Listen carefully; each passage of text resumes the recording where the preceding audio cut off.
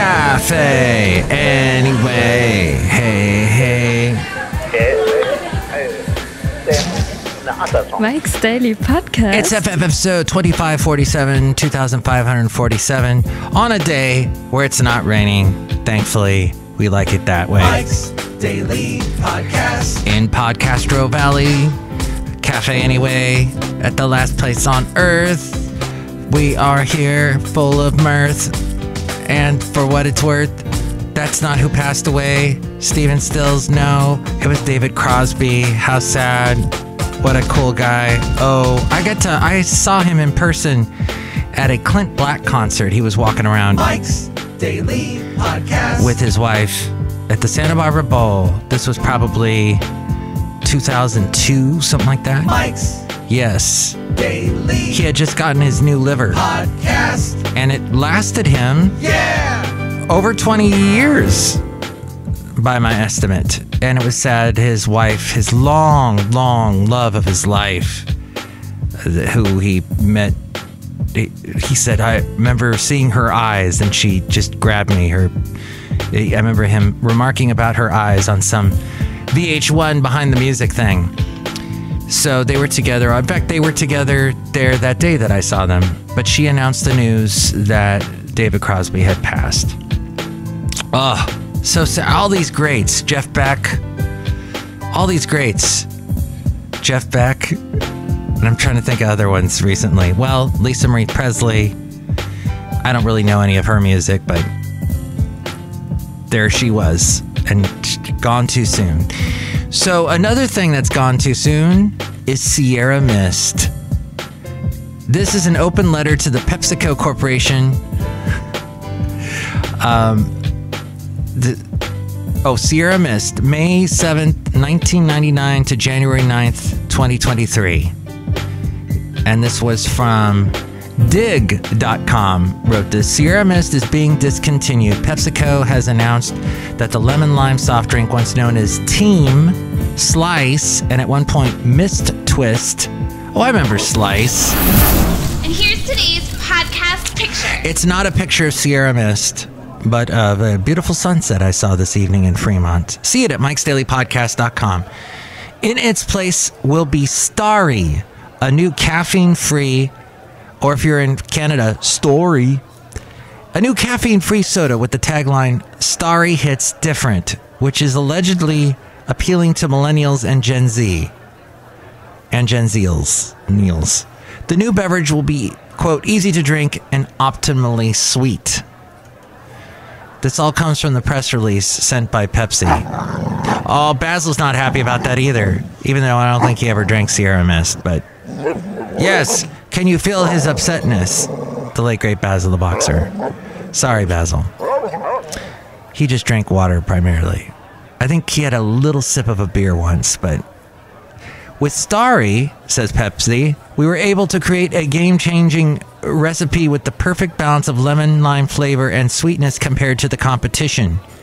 At PepsiCo, we are hyper focused on consumer centric innovation, and we know there's a strong demand for lemon lime flavored soda, with the category continuing to accelerate. With one product dominating the category, consumers deserve another option, one that hits different.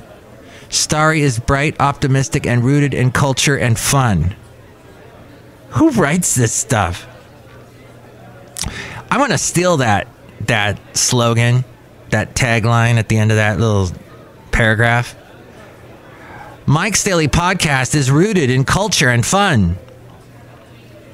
But what about our dear old pal Sierra Mist? The second option at every pizza party, at an ice skating rink from our youth, the only working section on the machine at the Taco Bell, and the wrong thing purchased by your mom when she went grocery shopping. Sierra Mist was truly always a bridesmaid and never a bride. In this open letter, it says, I'd write a eulogy, a real eulogy here, but good riddance. It wasn't even as good as 7 Up. Nowhere near Sprite. So we can live without it. Goodbye, Sierra Mist, whose name might suggest it was a Mountain Dew clone, but in fact was not, because of the mountains and Sierra. I get it. Nobody really loved you, and despite the bad name on Starry, Its cool design and promising upgrade in taste makes you a relic of the past. Like Surge, Sierra Mist was almost 24 years old at the time of its passing, and it's survived by Starry and the PepsiCo corporations. Uh, and this author wrote, I tried Starry shortly after writing this article, and it's dot dot dot, like about 20 dots, dot dot dot. Perfectly cromulent. Interesting. Didn't know that was a word. I'm gonna have to look that up. So there. Thought I'd pass that along to you. Um, and this other bit of news that I received today that Microsoft is going to lay off 10,000 employees. Microsoft said Wednesday that it's letting go of 10,000 employees and add that to all the other layoffs happening. First, it was Twitter. Remember, Elon was like, "Get get out of here! Everybody, get out of here."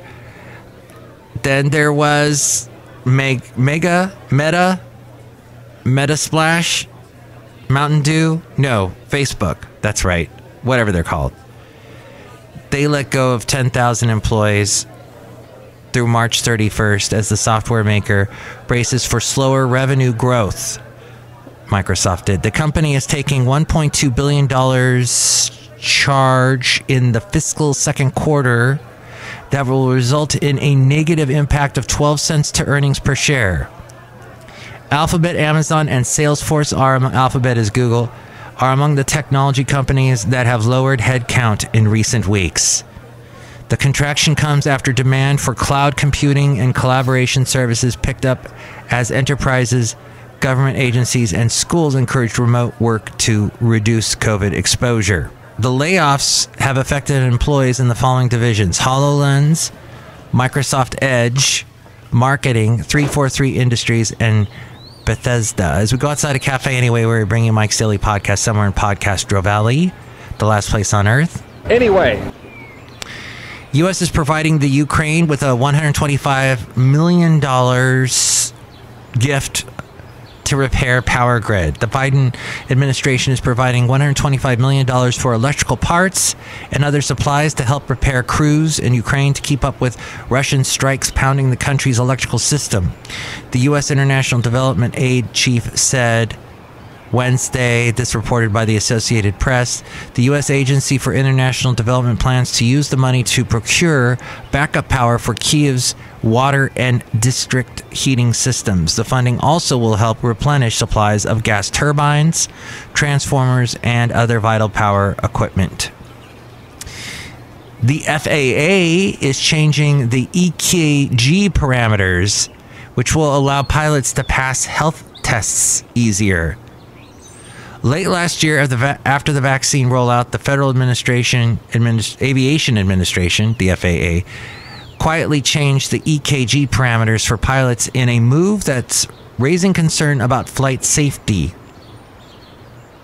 According to a report on Substack by Vaccine Safety Research Foundation founder Steve Kirsch, the October 2022 version of the FAA Guide for Aviation Medical Examiners widened the range acceptable for pilots to fly. The PR used in the range of 12 to 2, he writes. It is now 12 to 3 and potentially even higher. This is a very wide range. It accommodates people who have cardiac injury. Okay, don't know too much about that, but I don't know if I should be quoting Steve Kirsch on my podcast. I've heard some things. New Zealand Prime Minister has announced the resignation. Uh, leftist New Zealand Prime Minister Jacinda Ardern announced yesterday that she's resigning her from her position because she does not have the stamina to seek re-election. Well, she did have a very, very, very busy couple of years with COVID and everything else, and the horrible uh, shooting. Wasn't it at a mosque in New Zealand? Oh, she's been through some hard times. Okay. Outside a cafe, anyway, somewhere in Podcastro Valley, the last place on earth, I would like to now do something I have not done for a while on this program, and that is the Mike Matthews New Tunes feud. Only this time, instead of it being two songs up against each other, we're going to go with five. Here we go. I'm going to play you. These are all new songs you've never heard before. And we're going to kick it off with a band called Windows Gold. Windows Gold is a female fronted quartet formed in Costa Mesa, California by husband wife duo Ben Sauer on guitar and Madeline Starr on vocals. Later joined by Ian Zamora on bass and Carson Ford on drums.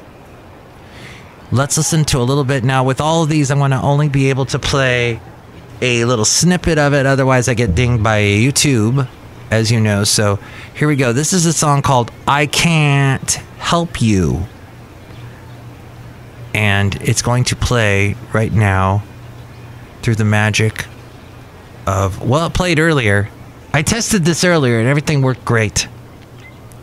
But now, as I play it, nothing is happening at the moment. Let's see. All right, we might have to go back to that one. Let's see. Oh, oh, here we go. That does that help it? No. Interesting. It is not there. If I click on this, will any Oh, what's that?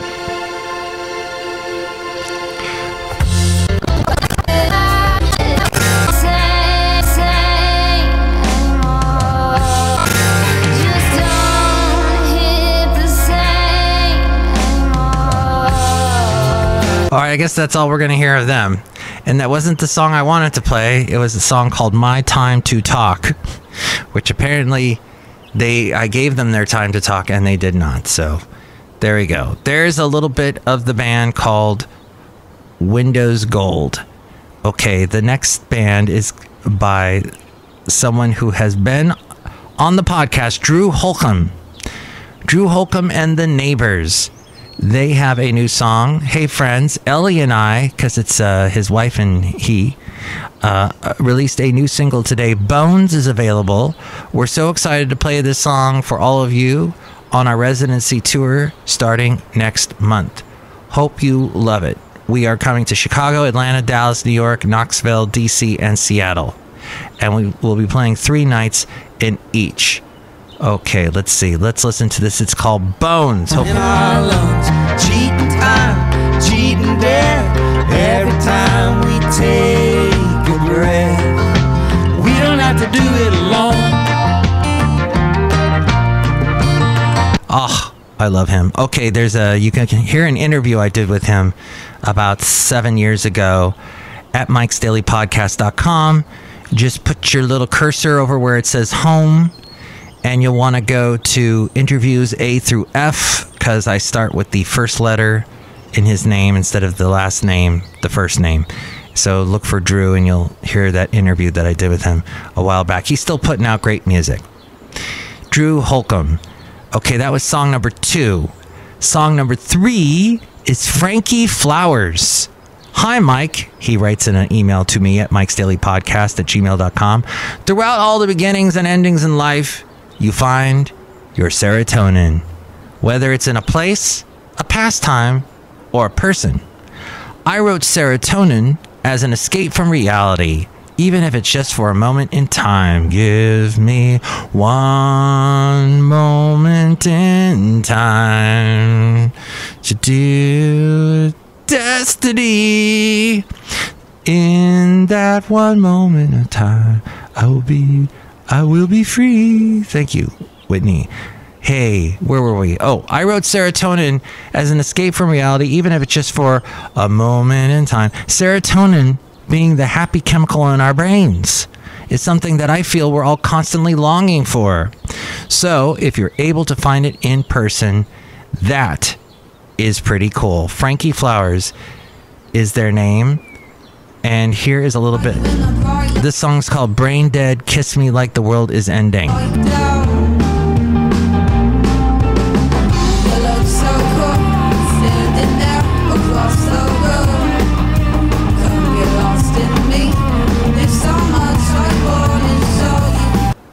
There you go, Frankie Flowers. That's song number three. Song number four is by uh, this group here called NOIA. NOIA. Today, Brooklyn via Barcelona experimental Spanish pop artist NOIA, alias for composer and engineer G- Gisela Fuya Silvestra announces her debut LP Gisela along with the announce she shares lead single Eclipse de Amor featuring a duet with Raquel Berrios of Puerto Rican duo Buscabulla. Ah, let's see. This is a lot of words Mike has never said before. Let us listen to this song. It's called Gisela by NOIA.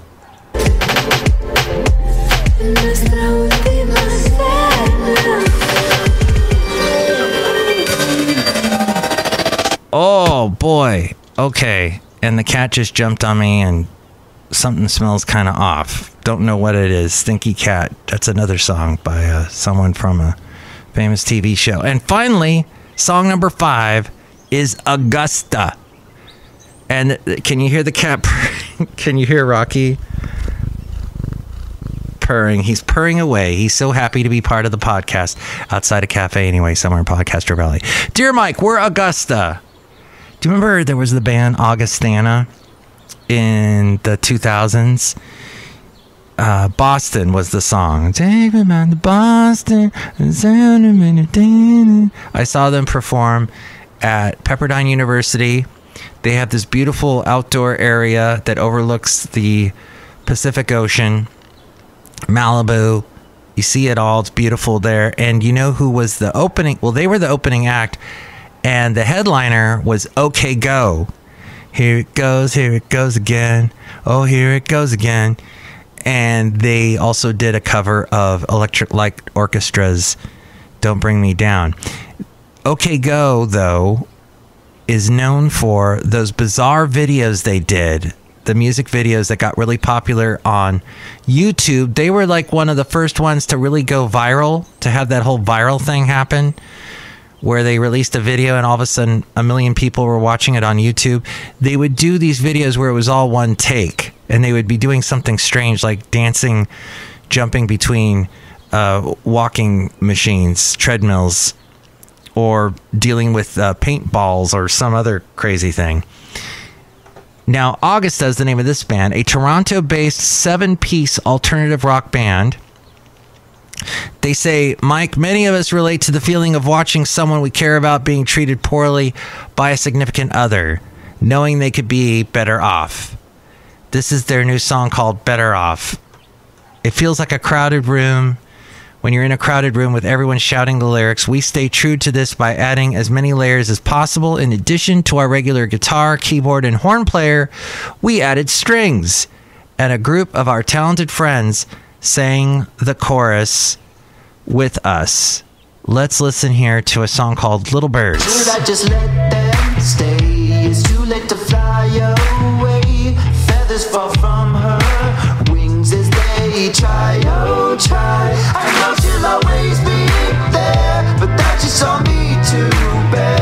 That's all I can play, or I'll get dinged.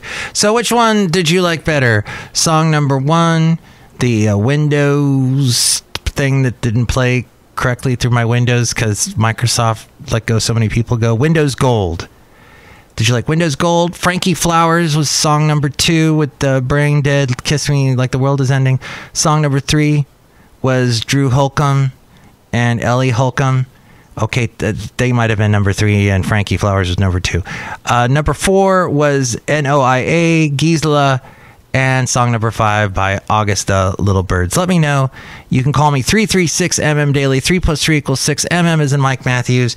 Daily, as in what this podcast tries to be. Occasionally I get interrupted. Call now 336 MM Daily.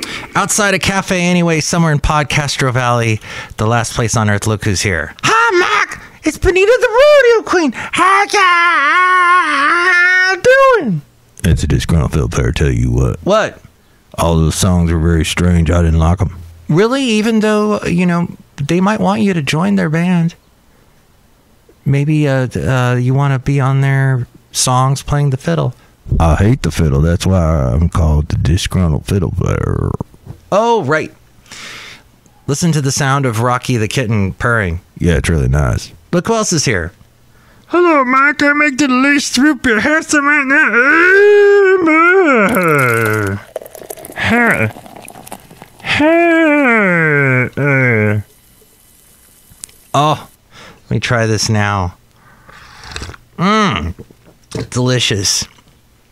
You know, I was trying to write the description on the last podcast called Pretzel, and I uh, did not, uh, couldn't do it because the cat kept stepping on the keyboard. So, thank you, Rocky, for that. That's really great. Drink it right now. I'll cut you. I just took a sip right in front of you. well, I did last podcast go on a bit of a rant. I will say I went a bit a rantish with the whole thing with the documents and all that, and I just, you know, I know you're thinking about it. You got your own opinion. Politically, it's just why talk about politics, really? It's nothing ever seems to get better. Everything gets more and more stupid all the time. I know that's cynical.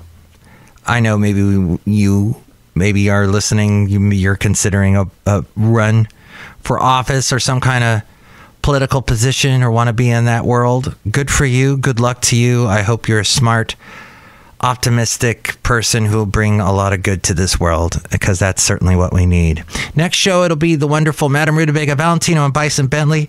And with more ways to reach me, it's A Frame. Ooh, Rocky, you stink. What is going on?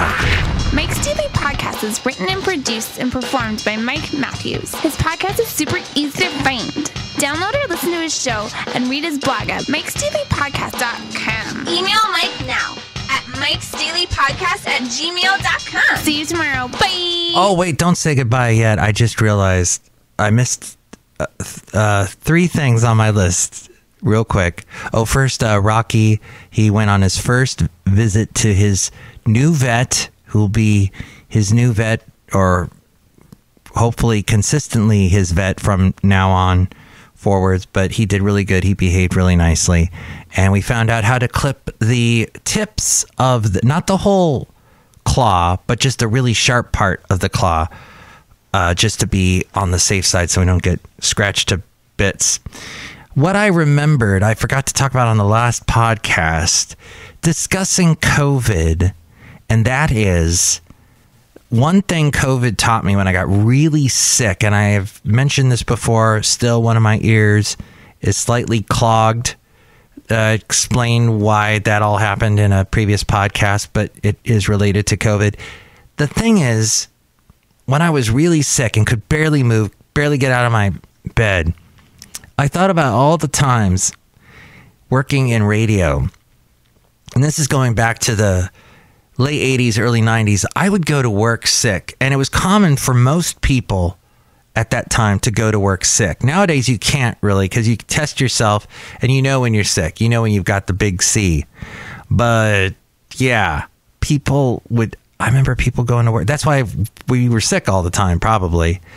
But I remember doing because in radio, you're pretty much just playing music, talking into the. If your voice was all messed up because of the your sore throat or your sickness, whatever was, whatever what you had, then it made it more difficult to actually DJ. You'd sometimes get someone calling you, "Man, you sound sick. You should just go home." I can't. My boss won't put anyone else in my place. And then in radio, it's sort of like showbiz where people are afraid to not take the job because if they don't take the job, then they look like someone who isn't really dedicated and they'll pass you over for someone else who is dedicated, who doesn't have a huge ego and think, oh, I'm better than this job. You know, something they'll pick someone who's worthwhile and who's dedicated and who'll be there when they say they're going to be there. So, you know, the ego is one thing, but if you can't back it up, there you're just a empty vessel. Your ego is nothing. And I have no respect for you. That and I also realized so no more going to work sick, everybody. Let's just try that. But the other thing is the traffic in the Bay Area has gotten so bad this week. This week in particular, it might be because a lot of routes have gotten closed down. Like there's a part of A Street which has fallen into a creek. Well, what used to be a creek now it's a roaring river. And Eric Swalwell was there last week talking all about it, saying how it's going to cost millions and millions of dollars to fix something like 51 million. So, yeah, if we have to find all these alternate routes home and everybody's finding the alternate routes that I was picking, and now it's taking longer and longer to get home. But hey, maybe you have an idea on how to fix all of this. Email me, Mike's Daily Podcast at gmail.com, or comment at any of the social media that I'm on. I'm on all kinds of social media, not TikTok, but other places. And you can find all those places at mikesdailypodcast.com.